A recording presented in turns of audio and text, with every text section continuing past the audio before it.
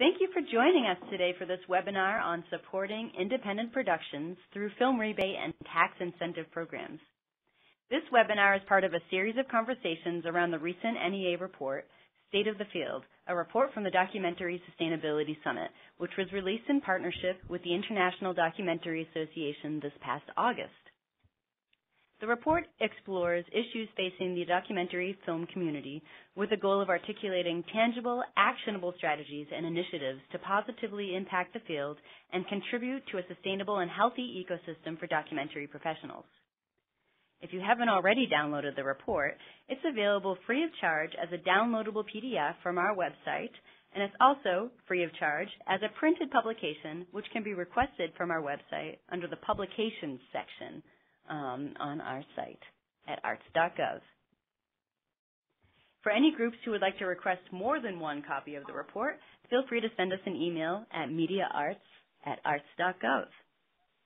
Also, if you'd like additional resources around the report, we have an archived recording of an earlier webinar that gives a brief report overview with special guest Simon Kilmurray, the Executive Director of International Documentary Association, and Michael Bracy, one of the lead consultants for the report and the Documentary Sustainability Summit. Getting back to today's conversation, I'd like to first introduce myself. My name's Jax DeLuca. I'm the Media Arts Director here at the NEA. I'll be moderating today's conversation.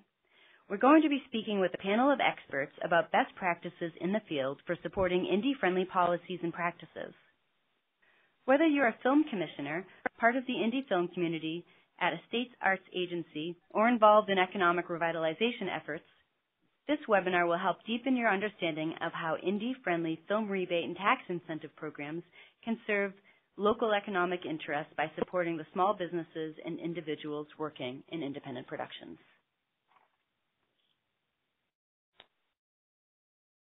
I'm incredibly honored to introduce to you the following individuals who will be part of today's conversation. Each panelist brings a wealth of knowledge and experience about film rebate and tax incentive programs. We're incredibly grateful for their time and willingness to participate in this webinar. So thank you, Cynthia, Rahdi, Lance, and Her Herbert.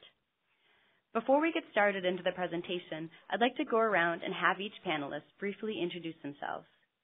I'm going to start first with Cynthia Lopez, who is also one of the lead consultants on the Documentary Sustainability Summit and the report. Cynthia? Good afternoon, Jax, and all the members of the panel. Uh, a special thank you to the National Endowment for the Arts and to IDA for collaborating on this series of events to assist the documentary field to explore creative business models and to increase sort of sustainability and the ecosystem that supports um, the documentary field. So I'm delighted to be part of this conversation. So thank you. Thanks, Cynthia. Rahdi? Um, Jax and Sarah and everybody from the NEA, thank you for hosting this webinar and thank you for including Sundance Institute and the documentary film Money Map in this field-wide conversation about sustainability. We're really excited to be contributing to to this conversation right now. Great. Thanks, Rahdi. We're excited to have you. Herbert? Uh, good afternoon, everyone. Thank you so much. I want to thank the NEA for uh, this report and for starting this conversation. Um, uh, I'm the Associate Director for, of the Film Division for the DC Office of Cable Television, Film, Music, and Entertainment. And uh, among other things, uh, we are charged with supporting the indigenous uh, creative community, which includes the documentary film community. And I'm really excited to be here and, and be a part of this conversation. Great. Thanks, Herbert. And last but not least, Lance Kramer. Hi, everyone. Uh, my name is Lance. Um, I am, I suppose, part of that indigenous film community that Herbert uh, just referenced. Um, I'm a DC, a filmmaker in DC. I co-founded with my brother a production company called Meridian Hill Pictures uh, seven years ago in DC.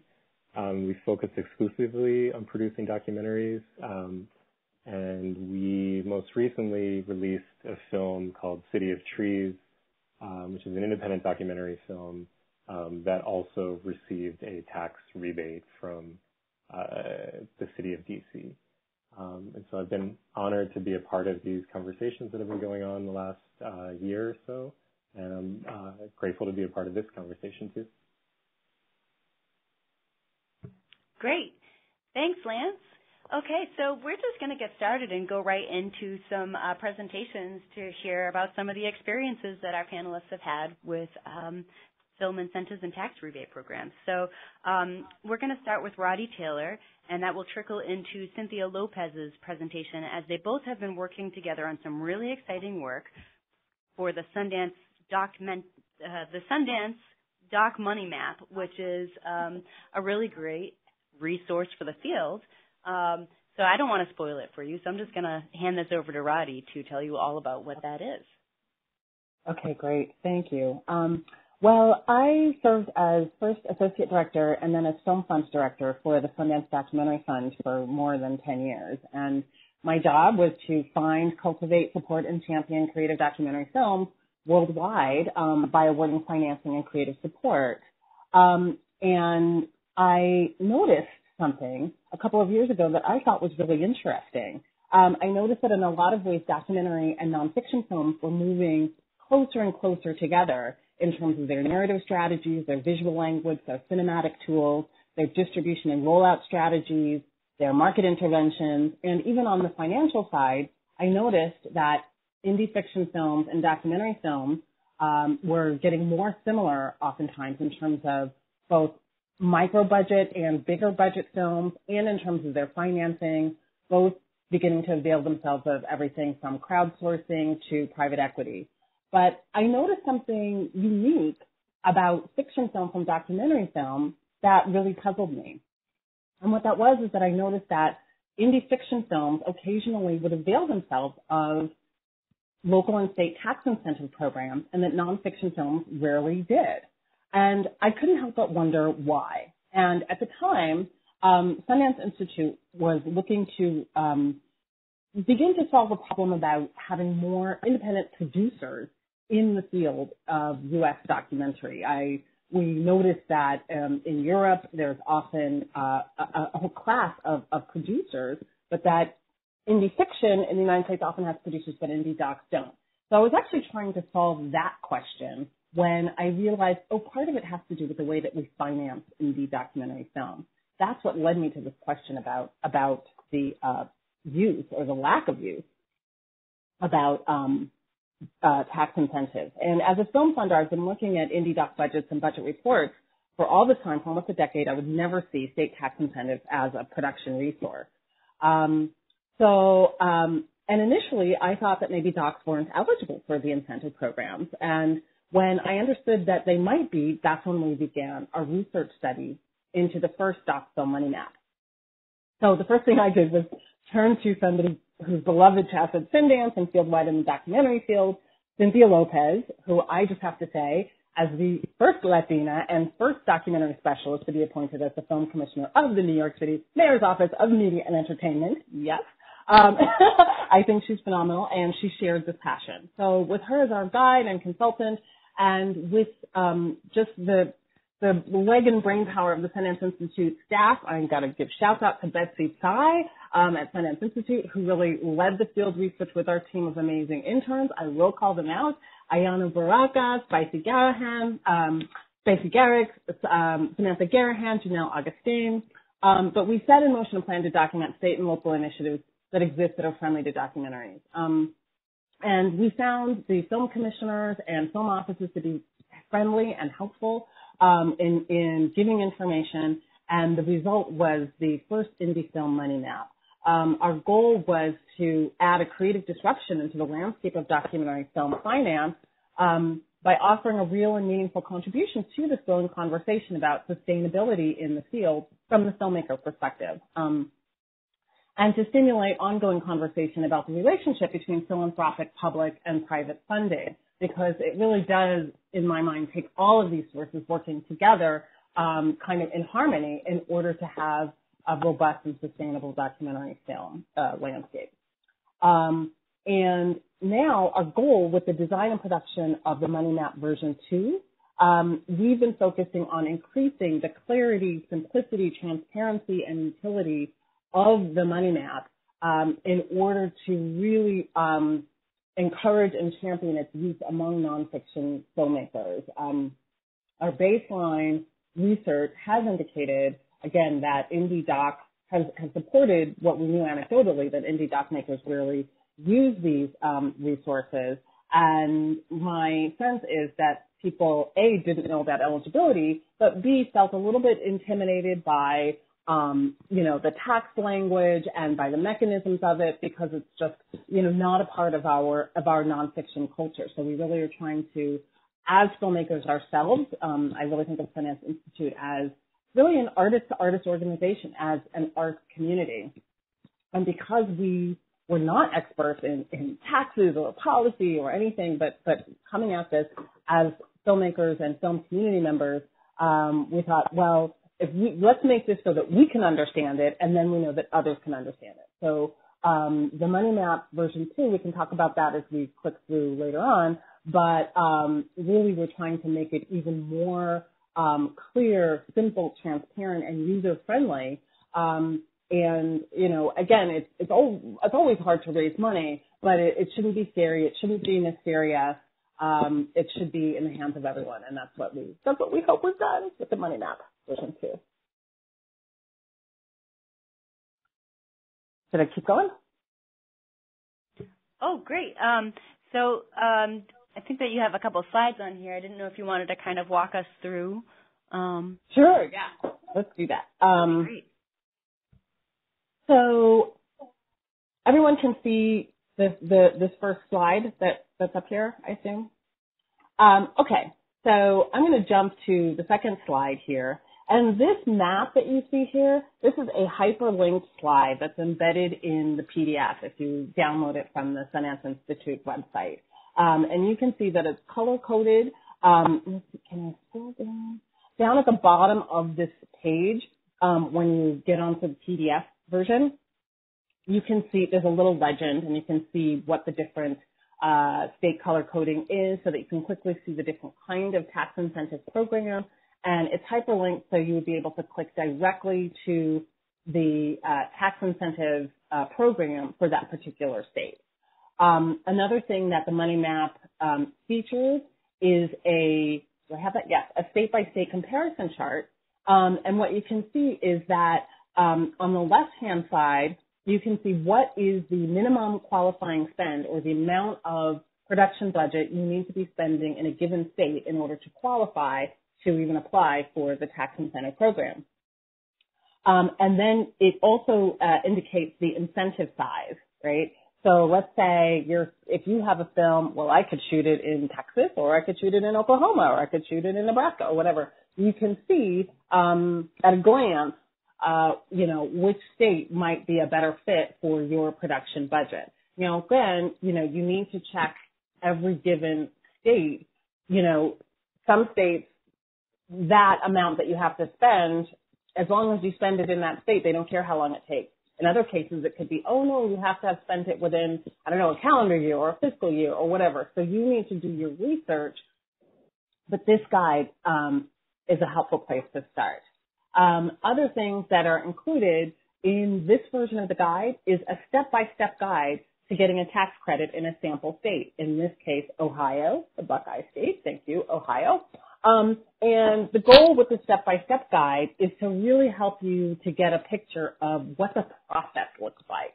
Um, and probably a lot of the filmmakers who are on this webinar are sort of familiar with the process of, for example, applying for a grant or the process of submitting your film to a festival or for a broadcaster for consideration. But it's a different sort of step-by-step process for applying for a tax credit program. So by walking people through um, you get a, a, a, sort of a mental map of, of how you do it. Um, and one of the things, and let's see, I'm going to skip forward and we'll come back to that. No, okay. One of the things um, that uh, can be confusing to filmmakers is that a lot of the language um, in this realm of tax incentives is similar. So the general umbrella program is often called tax credits um, when you initially apply, they might deem you tax credit eligible. Like if you actually spend this much money in state and prove it, then you'll get, you know, X amount of money, um, or X amount of a tax credit. Um, and then once you do all of that and you get your actual tax credit certificate that you can redeem, um, uh, that that's using that language yet again. So we do we have included a glossary that is more clear than I am right now, um, but to really help explain the ABCs of tax incentive programs. Um, I'm going to jump forward for a second to show another thing that's included in the Money Map version 2. This time we've, we've also included two case studies um, from film producers who have successfully um, been awarded tax incentive finance, one in the state of North Carolina and one in the state of Colorado. Um, and this way, filmmaker users of the guide can get that kind of personal um, uh, uh, perspective from from the film producer. What was their journey like, and what do they wish they had known, or what advice would they have, and so on. So there's a couple of page case study for um, each of those two two states. Um, so we feel like, um, and then of course there's still the state by state cheat sheet, which is a listing of every uh, state's program with more detail. And of course, we also noted, you know, that a lot of these aren't, um, they may not have uh, a tax incentive program, but they might have grant programs, they might have other types of programs. So there's also a cheat sheet for that as well. So we feel like it's a pretty robust resource and um, and I feel strongly that this should be a part of every independent filmmaker's kind of mental toolkit. Um, whether you plan to use it on your current project or not, hopefully there'll be many, you know, projects yet to come. So, you know, um, I think it's really important to familiarize ourselves with these processes, to familiarize ourselves with what it means to work with our state and municipal film commissions and film offices. How do we as nonfiction filmmakers um, learn to hold hands with, you know, civic entities and, and everything along the process and to, to really be partners in, um, in, in this aspect of creating public media. So I hope it's a, a really useful tool and that everybody will download it. Yay. This is really so exciting to see. I mean, the first edition of this was equally exciting. I love this um, edition of the case studies in here. Um, so thank you, Rahdi, for that overview. And you guys also have a video online that you had um, recently we, released? Yeah, well, we just, it's an introductory video, so it's about 25 seconds. Um, but it's a video that, that gives a briefer introduction and overview to this. And it's an easy way for folks who want to share this money map with others rather than trying to spit out everything that I'm struggling to spit out right now to forward um, the link to that. Um, and it, um, through it, people can go directly, you know, again to the money map on the Sundance Institute website. So, um, please do share, if you think this would be a useful resource to other independent filmmakers, um, please do share it. And, you know, of course, the Doc Money Map was designed with documentary filmmakers in mind, um, but it's useful information for other kinds of filmmakers as well. So please take a look. Great. Thanks for sharing that. Um, so we yeah, definitely um, for all you film commissioners, people at state arts agencies or filmmakers, anyone who's on the line who knows someone who might benefit from this, share away. So I'm going to pass this over to Cynthia Lopez, um, to, to talk a little bit more about her involvement with this project as well. Thank you, Rahdi, and thank you, Jax. I have to say for myself, what's so invigorating in seeing the um, Doc Money Map 2 is that I think for most people uh, uh, in society, you know, I, I'm not quite sure that they see the documentary storytellers and the businesses that they create as micro businesses in their community. And, um, you know, that's, I have to say, I, I spent, uh, close to 14 years at PBS at the POV series. And then I went on to become uh, the New York City Film Commissioner. And one of the things that I was very, you know, very intrigued by was when I looked at how the major studios was shooting in New York in other states across the United States and how they were the economic engines to contribute to local businesses in those states. I always, similar to Rahdi, I had the need to understand more about how documentaries, how their business model works, how for years, you know, at PBS, you know, the pie consisted of the fundraising pie consisted of, you know, filmmakers going out and getting um, resources from philanthropic institutions, some state and local uh, government agencies, you know, the NEA, the NEH, but most of the business model was not structured at all to look at what other tax credits, tax, you know, benefits and or other incentives were available in each of the states where these businesses were developed. And that led me to really try to understand more how this could be a potential way to work creatively to be one of the aspects of a sustainability plan in the future. Um, from my perspective, I often think about, you know, right now you have in certain states where the film commission will go to the airport and greet a potential production that is scouting in their state. And I kept on thinking, gosh, it would be wonderful if independent filmmakers who live in that state could tag along with the film commission to talk about the kinds of amazing opportunities that exist in that state for talent, for how w- different resources in that community. And so for me, you know, one of the things that Rahdi and the team talked, you know, at length about was how can indie filmmakers and nonfiction filmmakers work um, collaboratively with their film commissions and think about other ways, even outside of the tax credit, that potentially they can collaborate. And so we, you know, came up with, you know, is your film commission indie friendly? And, you know, other ways to be a hometown hero as examples um, to really delineate how independent filmmakers who are developing documentary or indie projects could work with their film commissions. For instance, they can host panel discussions about filmmaking in their community, or they can work cleverly to try to figure out what are the training needs, the workforce uh, development needs in that community to encourage more film production in that community.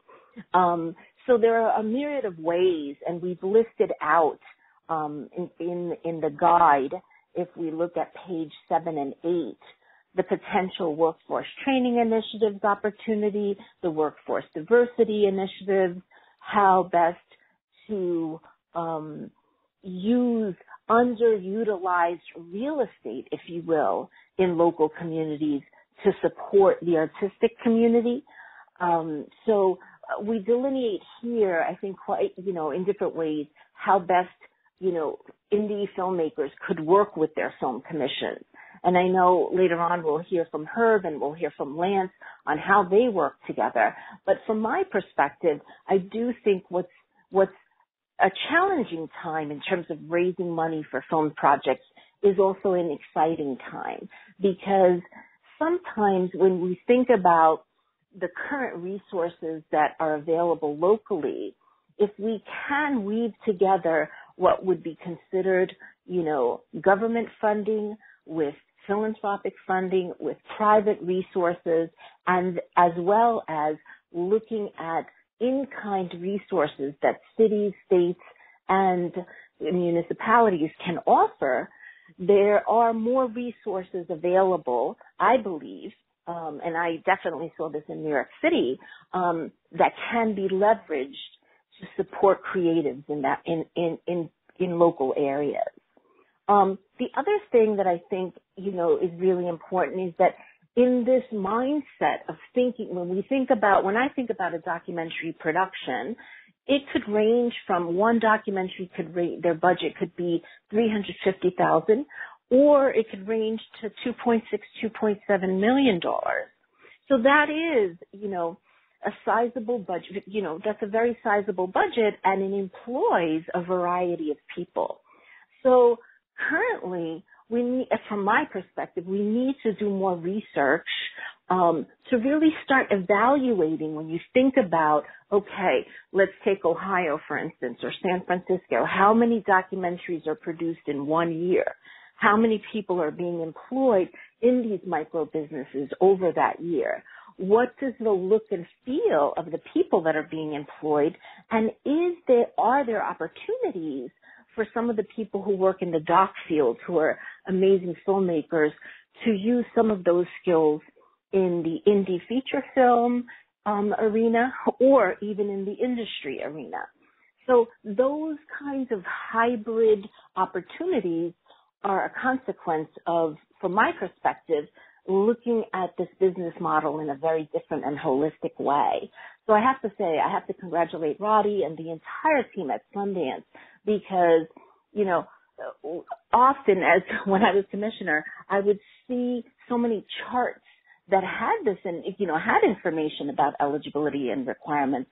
But there this is really um, the first comprehensive guide that is really user friendly and at the same token it takes each of the hyperlinks takes you exactly to where you need to go to get the information you need to get to be able to apply um, again from my perspective I would only ask that nonfiction filmmakers as well as indie feature filmmakers really uh, begin to have a relationship with your film commission well in advance of you applying for a tax credit. Um, it's really important for them to understand who you are in the community and the kinds of productions that you are engaged in developing, as well as for you to understand the kinds of uh, workforce or training programs that they have developed so that there's a clear understanding of what's going on. Um, so I, you know, I want to stop here, Jax, just in terms of this portion of the presentation, but I, I strongly encourage people, I have to say I feel in such a luxury position to have worked on the NEA Summit report and at the same time have worked on uh, the Doc Money Map in this crucial time when I believe filmmakers need more resources to be able to ensure that their businesses can, you know, uh, find additional sustainable ways to thrive. Well put, Cynthia. So um, that was a, a, really um, exciting overview, and um, I'm really excited to dive into the new report and have other people look at that as well. So um, thank you for that broad overview of the landscape there. Um, you guys are power women. So after taking a look at this broader landscape, I'd like to just drill down to take a closer look at the landscape from the perspective of a film office. So we do have Herbert Niles here um, in the office and Lance Kramer. So I'm going to um, turn this over to Herbert, and uh, he can talk a little bit about the, what's going on at the DC Office of Cable Television, Film, Music, and Entertainment. Well, thank you again for having me, and um, it was great to have that overview, and I think it's going to be helpful for us now to um, pivot to um, how it works in a single jurisdiction, and we can talk a little bit. I'll talk a little bit about our program, our incentive program in terms of design and goals and mission, uh, and then we can talk a little bit about the relationship that Lance's, Lance and his company had with our office and how we developed that relationship and how it culminated in uh, him being able to apply for um, a uh, for the incentive and receiving the incentive. So just to give a little bit of an overview, um, just to let everyone know, if you want to reach out to our office to get more information about our program, you can email us at film at dc.gov and I'll be happy to give you more information. You can also go to our website, which is entertainment.dc.gov. Uh, but basically, our program is relatively simple.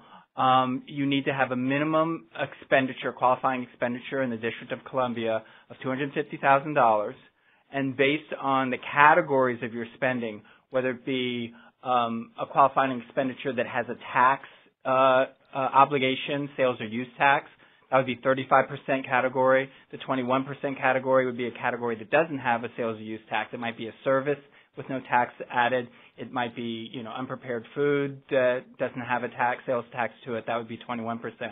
Then our incentive covers 30% for cast and crew, and in the case of, of Lance's company, employees of, of the company that worked on the project, that would be at 30%.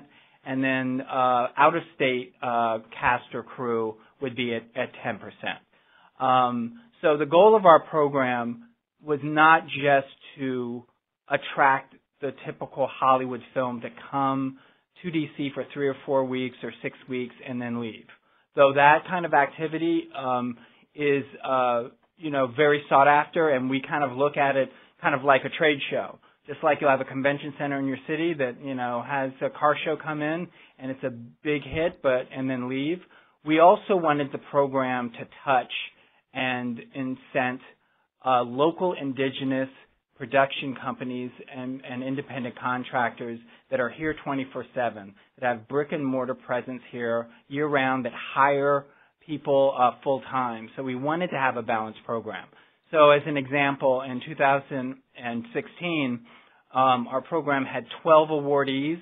Seven were your traditional, you know, Hollywood or out of state applicants, and then but we had uh, five applicants that were local uh, Washington D.C. film companies, and three of those five were actually documentary and nonfiction. So it was very important to us to be welcoming to uh, a diverse cross section of of the um, filmmaking uh, ecosystem, and uh, so that's a little bit about our program. I guess we could pass it to Lance, and Lance can talk a little bit about how he developed the relationship with us, how he kind of navigated understanding our program, and how it could work for him, and then sort of what the what the process was administratively as we went from sort of the application process through his production uh, cycle, and then um, through the submission of his uh, expense report and audit, and then ultimately uh, getting issued his rebate. Yeah, sure. I can I can pick up from there. Um, this is Lance, um, and you know when we first when my brother and I first started our production company in 2010, one of the first things that we did was reach out to the film office um, and just introduce ourselves and had an informational meeting with Herbert and the then director of the film office. And you know we were in our early 20s. Um, you know, we didn't have we hadn't we didn't have a film under our belt. Um, we had never run a business, never run a small business, um, and so all this was new to us. But uh, it felt like a natural place to start to just get connected with the film office, um, let them know who we were, let them have a sense of what we were trying to do with our film work and with our film careers. And that wound up being really important because when hearings started happening at the city council about the rebate program, um, Herbert reached out to me and asked if I would be willing to testify in front of city council on behalf of the local filmmaking community. Just to take a step back, the reason why we were having hearings with DC City Council was that at that time, DC had a film rebate program, but it wasn't authorized with funding. So it was there, but a bit of a shell. Um, and then on top of that, um, the program that was at least there on the books had a cutoff or a qualifying threshold of $500,000, which um, meant that basically any film that had spent less than $500,000 in the district would not qualify.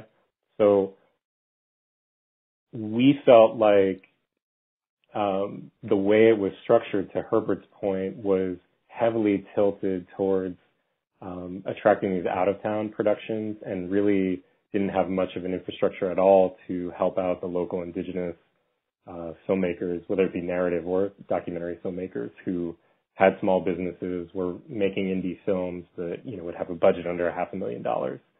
So one of the things that we tried to do then over the course of what wound up being several years was build a relationship with the film office, help them to understand the dynamics of what go into both making a indie doc and then also running a small business day to day and keeping a staff of independent documentary filmmakers working, you know, five days a week on salary, um, and what that looks like, the challenges we face, the things that we're hoping to do with our films. Um, and that became an ongoing conversation that, you know, I'd say every six months or so at least, we would get together and have some sort of touch point. Um, over the course of about three or four years, I wound up testifying four times in front of city council to make this argument um, and kind of share evidence and help inform and educate the council members about these points. Um, thankfully, after several years, the program was both reauthorized and then that budget threshold was lowered from $500,000 to $250,000, which meant that for our film City of Trees that we had been working on, that we started in 2010 and finished in 2015, we could qualify because the but the total budget for the film wound up being $406,000 and the DC qualifying spend was um, I don't have the numbers in front of me, but I think it was about two hundred fifty-six thousand dollars. So we were like five or six thousand dollars over this new threshold, this qualifying threshold. So what that meant was that then with our small, relatively small, you know, compared to a large out of town project, but big for us project, we were able to qualify um, and then embark on this process that Herbert alluded to of going through the application, which meant that we had to hire an outside auditor who came in and looked at the five years of books, of bookkeeping, um, and contracts and paperwork that we had for the film um, to make sure that our bookkeeping practices were sound and that indeed we had met all these qualifying criteria. The audit took a long time. It cost a fair bit of money. It cost several thousand dollars. Um, but uh, the outcome of that was, and I'm skipping over some points just in the interest of time, but the outcome of that was that we were able to qualify for, um, we we were able to qualify for a uh, eighty-five thousand dollar uh, rebate, and so that eighty-five thousand dollars, which was a rebate, a tax, a cash rebate, not a tax uh, credit, but a rebate, then we were able to directly pour back into our company, which enabled us to pay down debts um, and then keep our company going as an ongoing operation to make our next film um, without carrying all the kind of saddled uh, the debt that we were saddled with um, and and a lot of the struggles that we had carried with us from the first from City of Trees into the next project. Um, so I think the thing I'll just wrap here that the things that that um, I just wanted to reinforce on this call were that, um, you know, if you're in a state that's not on that money map right now, um, which is an amazing resource, uh, but if you're in one of the states or jurisdictions that's not on the map, don't be discouraged and don't feel like you don't have agency because I think that as filmmakers, we carry a whole lot of agency and the representatives and civil servants, public servants like Herbert and other jurisdictions I, I have to believe are looking for people like us, for independent filmmakers, to get active, to build these relationships, to find small wins that we can work on together, you know, to make common sense arguments that are good for the city, good for business, good for filmmakers, um, that can help to uh, uh, bring independent filmmakers into into this rebate uh, ecosystem, where in some cases we might be left out and have um, win-win situations. So there's an article that I wrote that's in the documentary uh, International Documentary Association magazine. Um, I think Jax can share the link that walks in more detail through our process of um, making the film, testifying, working with the film office to get this program back up and running, applying for the audit, um, and receiving the rebate. And then we also publish the audit itself so that that could be available as a resource to anyone. Um, and I'm certainly here, you know, in this call to also just help answer any questions. Great. Thanks, Lance, for sharing that. Um, I mean, this is really powerful to have you both on here uh, talking to help best illustrate the role of how a filmmaker uh, can partner up with a film office and really work together on a variety of initiatives towards a, a common vision. So I, it's really nice to see that. Um, so we're going to move into um, some. I'm, I'm going to just pose some questions to you guys as panelists um, to to get a little bit more information here. um, and then we'll open this up for a public Q&A um, after that. But I just wanted to pitch a question to the presenters um, to just talk a little bit about the motivating factors in the projects that you've taken on. I, th- I think you've each touched on it in different ways, but I think that there's some deeper background that has propelled you to take on some of this work. Um,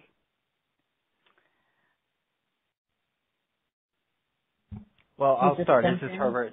Uh, this is Herbert talking.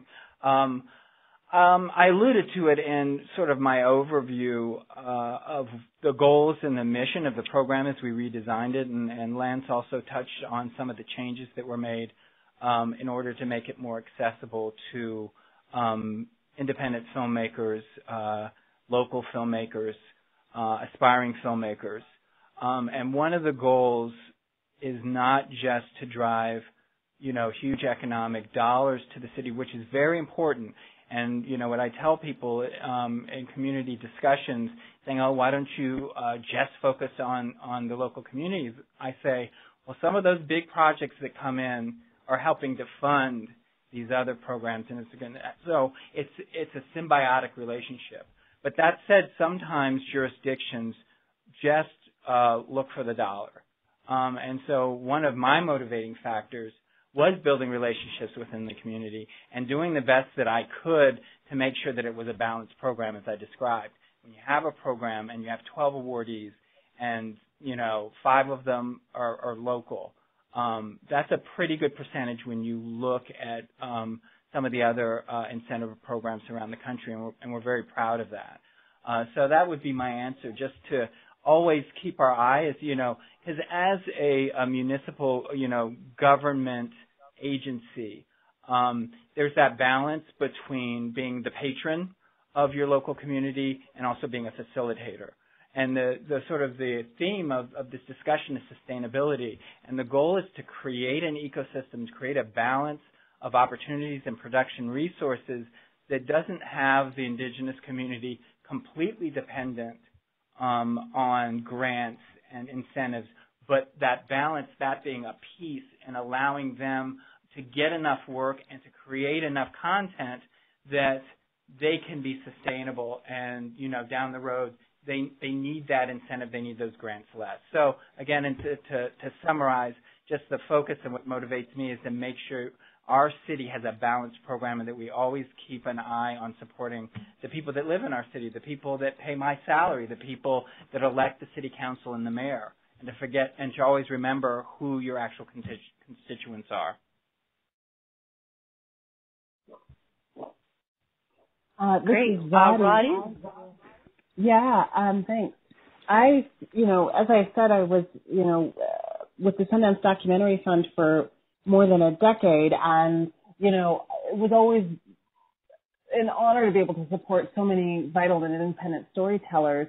Um, but it was also it can also be um, you know painful to see when people feel like there's just not enough resources out there, right? And people um, struggling to get the right match of of you know foundation support and and you know you know to get uh, lot broadcast agreements and so on. And so I really felt strongly that wow, we need you know um, we're I feel like artists are also enterprise people um, and we need to be thinking bigger about or, or thinking differently about where the resources are and aren't. And, you know, these are projects that are bringing philanthropic dollars in um, to communities um, by virtue of their production spend. Um, and it made sense that that that those communities also, you know, match with or, or, or contribute also to their local programs. So it was really about how do we find a new source of resource um, for independent filmmakers who I felt like we were, I felt like, you know, one, one fund would close, another fund would open, one fund would open two years later, but it was a, a shuffling of the existing pot. So I was really excited to think, wait a second, there's a whole other pot over there that for whatever reason we're not engaging with. Um, that's crazy. um, so um, I'm, you know, again, as as um, you know, Sundance is is both about projects, but it's also about, of course, people. We're the, the, storytellers, and and how do we meet um, a wide range of, of needs so that so that people can can do their work and continue doing their work. And um, and I really just am excited that you know it really was a, a collaborative um, project with you know uh, Sundance and and you know the IDA and and everyone. So um, you know, but uh, that was the motivation for for doing this is to really try to put more um, really more a sense of more power over fundraising into the hands of independent filmmakers. Um, that's really the goal, is just empowering the artists. Great, thanks, Rahdi. Uh, Cynthia, did you want to jump in? Um, yes, I, you know, I can't agree more um, w- with what has been said. And again, from my perspective, having had you know, having been at PBS for many years and then, uh, you know, on the film commission in New York City, I would have to say that uh, there's three things that I constantly think about when I think about nonfiction storytellers. One is the the critical nature right now. I have to say, this morning I woke up and I'm reading all these different newspapers, and yet I'm online trying to look for video um, on what's happening in the Caribbean, right? And so people are hungry for a very holistic approach to information about what is happening in society today. And what's exciting about this conversation is that, you know, I believe that the public infrastructure, whether it's public arts funding or the local micro business similar to what Lance describes that he's built with his brother, or, you know, the film commission you know, in in terms of the workforce development programs that Herb has worked on, you know, we benefit from really building our public infrastructure and then working very creatively with private partnerships. So from my perspective, again, if we look at quote unquote the entertainment um, landscape and we look at the documentary landscape, these things should not be juxtaposed, but rather we, we need to think creatively on how, um, you know, I, have to say I can't tell you how many times, Jax, I've walked into, you know, sort of a public institution. It happened the other day where I was walking into a university and someone said to me, Cynthia, you know, I know you've been working with the NEA on this report because the report is getting distributed so widely. And, you know, he said to me, my first grant was an NEA grant and look where I am now. And, you know, I, I don't want to mention the individual, um, without speaking to him about it, but, you know, he is at a corporation doing some amazing things. But his start was at the NEA, right? So for me, these types of investments, these public investment dollars are so vital for us to think about how the local, uh, as I said before, micro businesses start and flourish. And we also have to be mindful that, you know, as Herbert was saying before, um, you know, for me, I have to say, as being on the film commission side, you know, I, I kept on saying education, education, education. First, learn what we're doing. Try to understand, you know, from the film film commission's perspective, learn about the programs we currently have and what we're doing and then, you know, talk to us about what you'd like to do and how you kind of can work together with us um, to develop new things. And so, you know, I do see this as uh, these two reports as vital tools that people can use to do this work locally. Great, thanks, Cynthia. That was that was really exciting to hear. Also, that uh, the report's getting around. Yay. Uh, Lance, did you want to chime in here?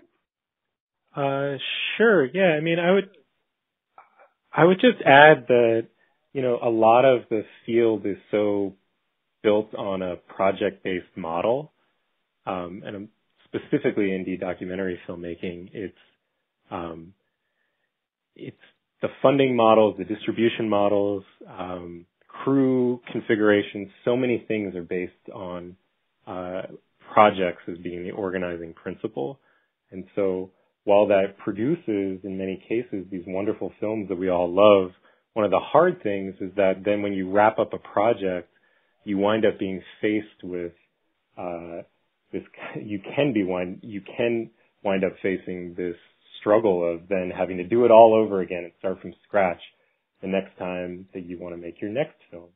And I think that that lack or shortcoming of the ongoing um, kind of structures that provide uh, the baseline of sustainability and support that can keep someone making films day in and day out over a sustained career um, are really, I think, one of the things that I've tried to focus on because I want to be making films and I want to be having a uh, career as a filmmaker that I can support myself and a family and live a comfortable life and um, and not just me but but but see others who have you know more or less resources than me do the same um, and I think that uh, you know these types of programs like the tax incentives and working with the cities are ways that we start to tap into resources that are not just project based but that um, allow people who are there to support these industries day in and day out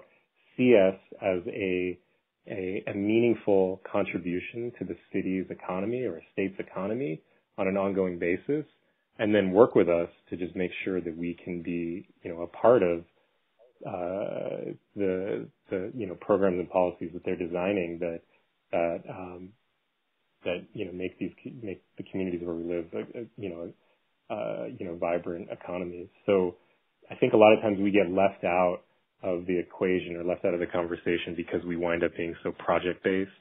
Um, and I think that, you know, that, that, that day in and day out, uh, drive to be a filmmaker should be, I think, what, what gets people involved in these types of conversations. Definitely. Uh, thanks, Lance. So I was at this show last night and someone said, um, a warrior is a person who seeks to protect and serve their communities using the resources you have. And I really liked that, and I feel like each of you are really embodying that. So thank you for being warriors in your communities. Really, powerful. so hopefully this inspires more warriorship. So um, thanks everyone for participating in this conversation. We actually, um, since we're at 3:53, we're going to open this up to the public for some questions. Um, there is an icon at the top of your screen that says Q&A, and if you click on that, you're able to submit a question by typing into the box, um, and then we will broadcast that to our presenters.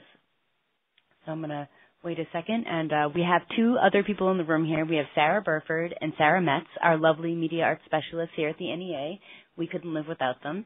Uh, and so uh, we're going to have them moderate uh, this portion.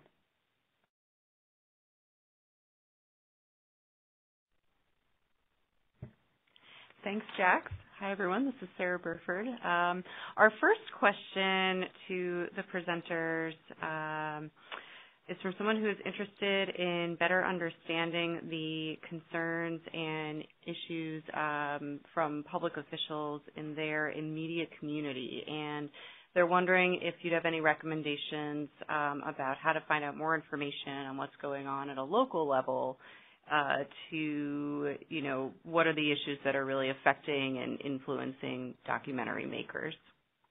Um, this is Herbert. I'll take that really quickly. I mean, uh, I'll start by saying each jurisdiction, each town, each state is different, and the local government and the level of support is different in each jurisdiction. So, you know, you got to kind of do your own research, but um, I would say a couple of things. First, I would say just go to your government website, call your government arts commission, and find out if there are any programs, and then you just got to do your legwork.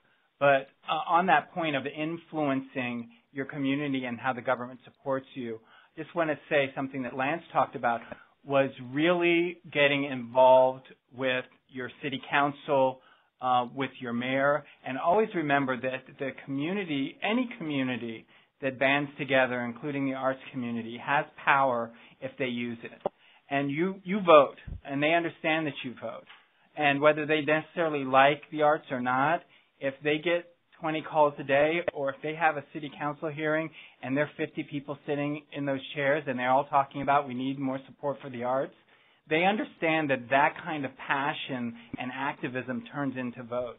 And so just from a purely Machiavellian political point of view, I know it's, you know, it's a lot of time being a great artist and you're hustling, but the time that you put in to connecting with your local community and advocating for the arts community can can have great dividends. So I just wanted to make that point as well.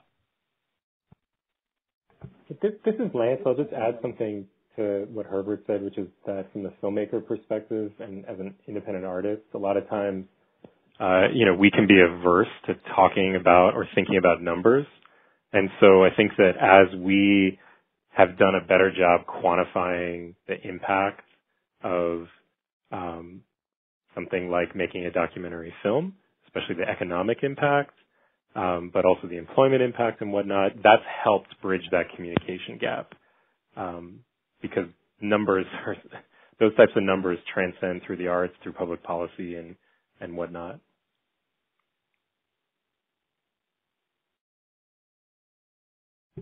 Thanks. Um, we do have another question, um, which is a good question. It's asking if a project takes place in more than one or two states, uh, you know, what does a filmmaker do? Can they do they pick one state to work with concerning the tax incentives? So this is Herbert again. I'll take that. So in the case of, of our jurisdiction, it doesn't matter if you did, you know, part of your project in California, part of your project in New York, and then came down to DC. So long as you qualify, so long as the portion of your project that you're filming in Washington DC hits that threshold of $250,000 in the case of our law, it doesn't matter how many other jurisdictions that you're filming in. So my suggestion as you're doing your pre-production planning is to have that understanding of the different laws in the different states and if your documentary or your nonfiction project has a lot of milieus and you have to go to different places, do kind of understand what the thresholds are and how much you can get from each jurisdiction and so that you can plan. So, all right, well, we need to hit this number in order to get anything from this jurisdiction and to plan it. But again, it all goes like you, the other pre-production planning you do. Just understand the landscape. But in the case of our jurisdiction, uh, it doesn't matter how many other places that you film, so long as you your, your production activity once you're in, in DC uh, qualifies under our legislation.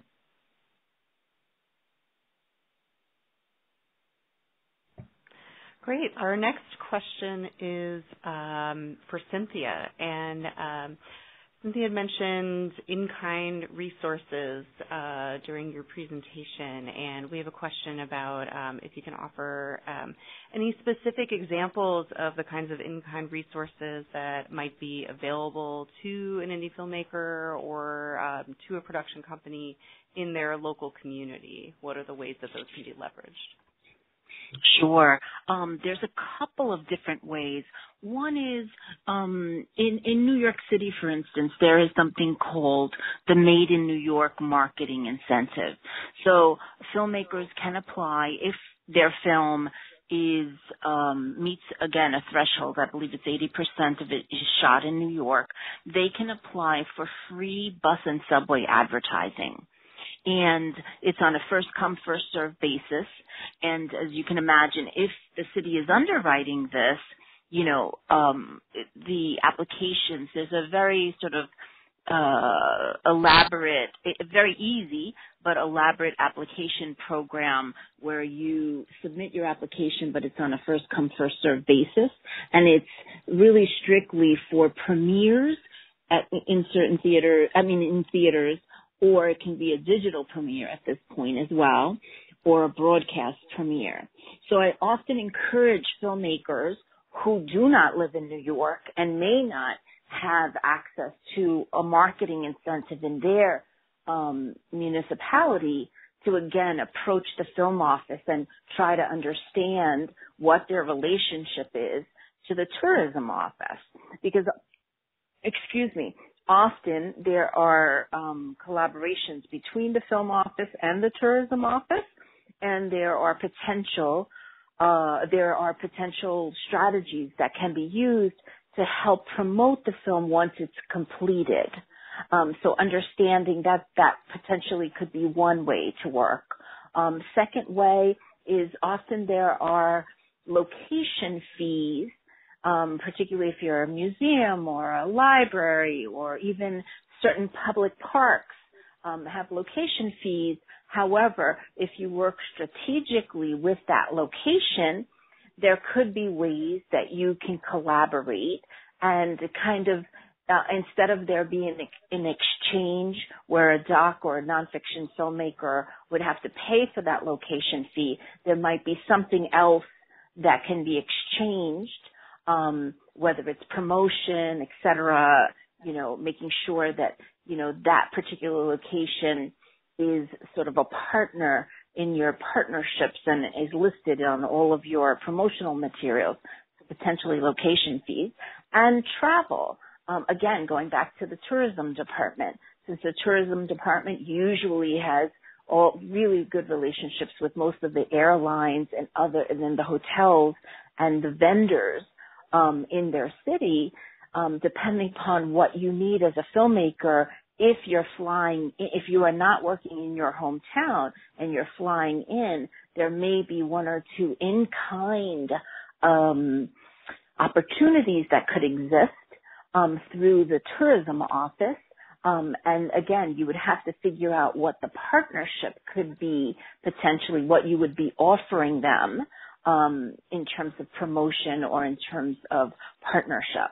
So those are, in my mind, three ways advertising, it could be location fees, or it could even be some travel expenses, um, depending upon what munici- what city, state, municipality you're in.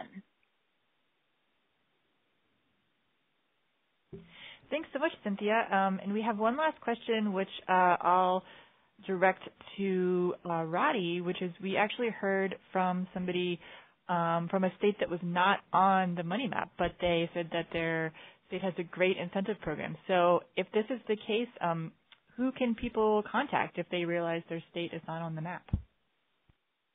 Well, if their state uh, should be on the map, they should definitely contact us at Sundance Institute, and um, the our information is on the back of the money map. Um, I don't want to try to spell out an email address, but um, but definitely be in touch with us. Try DFP as in Documentary Film Program at Sundance.org um, would be a good way to start. Um, and we do recognize that a lot of states have different incentive programs for in-state or out-of-state um, uh, companies or productions, and we focused on listing the out-of-state eligibility because we knew that this was a nationwide audience and you know, in other words, people needed to be able to look at the whole country, not just where they were. But there's additional information that you can, you know, each link will take you straight to that tax incentive page. Um, and then again, there's the state by state cheat sheet on the back. So there's additional resources for further um, research um, and um, and everything. Uh, so if you're a film office or a film commission, and you want to update or um, any of the information on the map, contact the Documentary Film Program um, at sundance.org. Um, and um, if you're a filmmaker, definitely do additional research. Um, our number one goal with the map is to inspire um, a sense of, you know, empowerment to use these tools, and partner with state and local film offices um, to see these as resources and to do your own research. Um, we feel like the most important thing is to understand what are the questions that you need to ask um, because by next year, um, you know, all any of these programs might be different. Um, and again, they might be different if you're an in-state versus an out-of-state company. So, um, yeah, Great. Thanks, Rahdi. Okay, guys. Uh, well, that was an amazing conversation. I am so glad that you guys were here as our experts talking on this topic. Um, so thank you. Uh, this conversation will actually be archived and available on our website in a few weeks, so people can share that link. And if there's anybody on the webinar that wants to revisit a few points in here, that will be available to you. I just wanted to point out before we leave that the um, the report that we have also features a case study on the DC Office of Cable Television, Entertainment, Film, Music. So um, be sure to check that out. It's on page 23, and that is on their workforce development initiative. and also we do have a feature on the Sundance Doc Money Map in there as well. Um, and before we um, before we sign off, I'd uh, like to say thank you to everyone for being here. And we have another webinar coming up on October 12th. That's on strengthening communities through regional programs and public broadcast initiatives. And we have Teresa Hollingsworth from South Arts on the call with Sue Schardt from the Association for Independents in Radio and Chris Hastings from World Channel. So we hope that you tune in for that. Thank you, everyone. Thank you. Thank you. Thank you. Thank you.